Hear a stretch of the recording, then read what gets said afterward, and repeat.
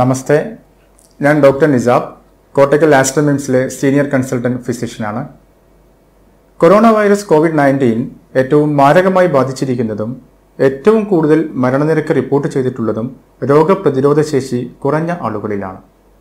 നമ്മുടെ എല്ലാവരുടെയും ശരീരത്തിൽ ഇമ്മ്യൂൺ സിസ്റ്റം എന്ന ഒരു രോഗപ്രതിരോധ സംവിധാനം നിലവിലുണ്ട്.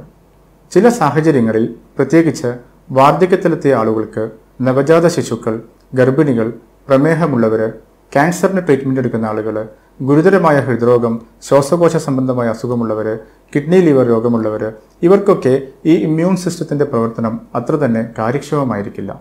അതുകൊണ്ട് തന്നെ ഈ വിഭാഗത്തിൽപ്പെട്ട ആളുകളെ പരിചരിക്കുമ്പോൾ നമ്മളെല്ലാവരും അതീവ സൂക്ഷ്മതയും അതിജാഗ്രതയും പാലിക്കേണ്ടതുണ്ട്.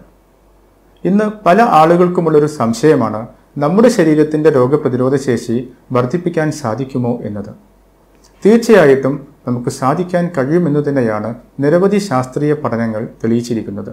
അതിനുവേണ്ടി നമ്മൾ ഏഴ് കാര്യങ്ങളാണ് പ്രധാനമായും ശ്രദ്ധിക്കേണ്ടത്. ഏറ്റവും പ്രധാനപ്പെട്ട ഒന്നാമത്തെ കാര്യമെന്ന് പറയുന്നത് സമീകൃതമായ പോഷകാഹാരം കഴിക്കുക എന്നതാണ്. എ ബാലൻസ്ഡ് ന്യൂട്രീഷ്യസ് ഡയറ്റാണ് ഇതിന് പറയുക. ഇതുകൊണ്ട് ഉദ്ദേശിക്കുന്നത് കാർബോഹൈഡ്രേറ്റ് പ്രോട്ടീൻ ഫാറ്റ് അന്നജം മാംസ്യം കൊഴുപ്പ് ഇവ നിശ്ചിത തോതിലടങ്ങിയ ഭക്ഷണമാണ് നമ്മൾ കഴിക്കേണ്ടത്. ഭക്ഷണത്തിൽ ധാരാളമായി പഴവർഗങ്ങളും പച്ചക്കറികളും ഫൈബർ കണ്ടന്റ് അടങ്ങിയ പദാർത്ഥങ്ങളും ഡ്രൈ ഫ്രൂട്ട്സുമൊക്കെ ഉൾപ്പെടുത്താൻ വേണ്ടി ശ്രമിക്കുക. തിളപ്പിച്ചാറിയ വെള്ളം രണ്ട് ലിറ്റർ നമ്മൾ എല്ലാവരും ഒരു ദിവസം കുടിക്കേണ്ടതുണ്ട്. എന്നാൽ പൊതുവെ എന്തെങ്കിലും ഭക്ഷണത്തിന്റെ കാര്യത്തിലോ അല്ലെങ്കിൽ വെള്ളം കുടിക്കുന്ന കാര്യത്തിലോ നിങ്ങളെ ചികിത്സിക്കുന്ന ഡോക്ടർ നിങ്ങൾക്ക് എന്തെങ്കിലും നിയന്ത്രണങ്ങൾ ഏർപ്പെടുത്തിയിട്ടുണ്ടെങ്കിൽ നിങ്ങൾ അതാണ് പാലിക്കേണ്ടത്. ഞാനിവിടെ പറയുന്നത് പൊതുവെയുള്ള ജനറലായ കാര്യങ്ങളാണ്. ഇനി നിങ്ങൾക്കൊരു ബാലൻസ്ഡ് ഡയറ്റ് ഉണ്ടാക്കണമെന്നുണ്ടെങ്കിൽ ഏറ്റവും നല്ലത് നിങ്ങൾക്ക് പരിചയമുള്ളതോ അല്ലെങ്കിൽ അടുത്തുള്ള ആശുപത്രിയിലെ ഡയറ്റീഷ്യനെ പോയി സമീപിച്ച് നിങ്ങളുടെ പ്രായം ഹൈറ്റ് വെയിറ്റ് എന്നിവയെല്ലാം കണക്കിലെടുത്തുകൊണ്ട് നിങ്ങൾക്ക് വേണ്ടി മാത്രമുള്ള ഒരു ഡയറ്റ് ചാർട്ട് തയ്യാറാക്കി അത് ഫോളോ ചെയ്യുന്നതാണ് ഏറ്റവും അഭികാമ്യമായ കാര്യം. രണ്ടാമത്തേത് കൃത്യമായ വ്യായാമമാണ്. നമ്മളെല്ലാവരും തന്നെ എല്ലാ ദിവസവും മുപ്പത് മിനിറ്റ് സാമാന്യ വേഗതയിൽ നടക്കണം. ഇതാണ് വ്യായാമം കൊണ്ട് ഉദ്ദേശിക്കുന്നത്.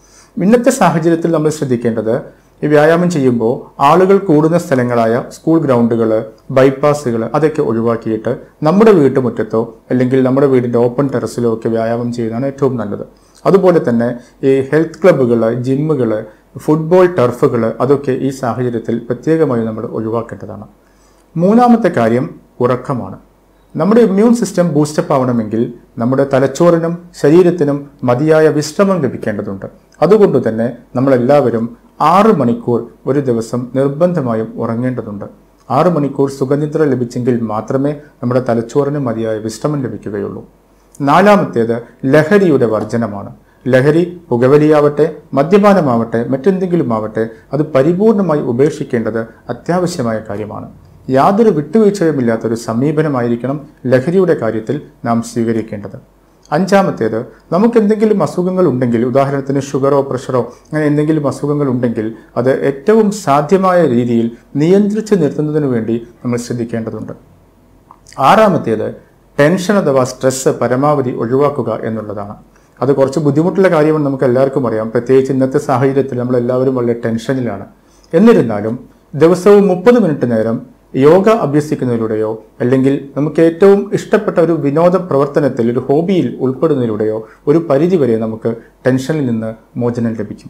പ്രത്യേകിച്ച് ഇന്നിപ്പോൾ സോഷ്യൽ മീഡിയയിലൊക്കെ കാണുന്ന വളരെ ആശങ്കയുളവാക്കുന്ന വാർത്തകൾ കണ്ട് പരിഭ്രാന്തപ്പെടാതെ അതിന്റെ നിജസ്ഥിതി അന്വേഷിക്കുന്നതിന് വേണ്ടി ശ്രമിക്കുക. മിക്കപ്പോഴും അതൊക്കെ വ്യാജ വാർത്തകളായിരിക്കും. അപ്പോൾ ഇങ്ങനെയുള്ള ആഗോള പ്രശ്നങ്ങൾ വരുമ്പോൾ നമുക്ക് വേണ്ടത് ശുഭാപ്തി വിശ്വാസവും ആത്മധൈര്യവുമാണ്. ഏഴാമത്തെ കാര്യം എന്ന് പറയുന്നത് പൊതുവെയുള്ള ശുചിത്വ ശീലങ്ങളാണ്. അതിലേറ്റവും പ്രധാനം സാധ്യമായ ആളുകളൊക്കെ ദിവസവും രണ്ടു നേരം കുളിക്കുക എന്നുള്ളതാണ്. നമ്മുടെ നഖവും മുടിയുമൊക്കെ വെട്ടി ചെറുതാക്കി വൃത്തിയായി സൂക്ഷിക്കുക സാധ്യമാകുന്ന ആളുകളൊക്കെ തന്നെ ഇടയ്ക്കിടെ കൈ കഴുകുന്ന ശീലം അത് ഒരു ജീവിതത്തിന്റെ ഭാഗമാക്കി മാറ്റാൻ വേണ്ടി ശ്രമിക്കുക നമ്മുടെ വീടും പരിസരവുമൊക്കെ വൃത്തിയായി സൂക്ഷിക്കുക നമ്മൾ വസ്ത്രം ധരിച്ചു കഴിഞ്ഞാൽ അത് അലക്കാതെ വീണ്ടും വീണ്ടും ഉപയോഗിക്കുന്ന ഒരു രീതി പരിപൂർണമായി ഉപേക്ഷിക്കുക ഇതൊക്കെയാണ്. അപ്പോൾ ഞാൻ ഈ പറഞ്ഞ ഏഴ് കാര്യങ്ങൾ പരിപൂർണമായി പാലിച്ചു കഴിഞ്ഞാൽ തീർച്ചയായും നമ്മുടെ പ്രതിരോധ പ്രവർത്തനം പ്രതിരോധ ശക്തി നമുക്ക് വർദ്ധിപ്പിക്കാൻ സാധിക്കും. അങ്ങനെ നമ്മുടെ പ്രതിരോധ ശേഷി വർദ്ധിച്ചു കഴിഞ്ഞാൽ കോവിഡ് നയന്റീൻ എന്ന് മാത്രമല്ല മറ്റു പല അസുഖങ്ങളിൽ നിന്ന് കൂടി നമുക്ക് രക്ഷപ്പെടുവാൻ വേണ്ടി സാധിക്കും. പക്ഷെ നമ്മൾ ശ്രദ്ധിക്കേണ്ടത് ഇത്തരം കാര്യങ്ങൾ ചെയ്യുമ്പോഴും കോവിഡ് നയന്റീൻ രോഗപ്രതിരോധവുമായി ബന്ധപ്പെട്ട് ആരോഗ്യ പ്രവർത്തകർ നൽകുന്ന എല്ലാ നിർദ്ദേശങ്ങളും ആത്മാർത്ഥതയോടെ കൃത്യതയോടെ പാലിക്കാൻ നമ്മൾ ഓരോരുത്തരും ശ്രദ്ധിക്കേണ്ടതുണ്ട്. നമുക്ക് വേണ്ടത് ജാഗ്രതയാണ് കരുതലാണ്. നമുക്ക് ഒന്നിച്ച് ഒരുമിച്ച് ഈ വിപത്തിനെ നേരിടാം. എത്രയും വേഗം നമ്മൾ അതിജീവിക്കട്ടെ എന്ന് ആത്മാർത്ഥമായി പ്രാർത്ഥിച്ചുകൊണ്ട് ഞാൻ നിർത്തുന്നു. നന്ദി നമസ്കാരം.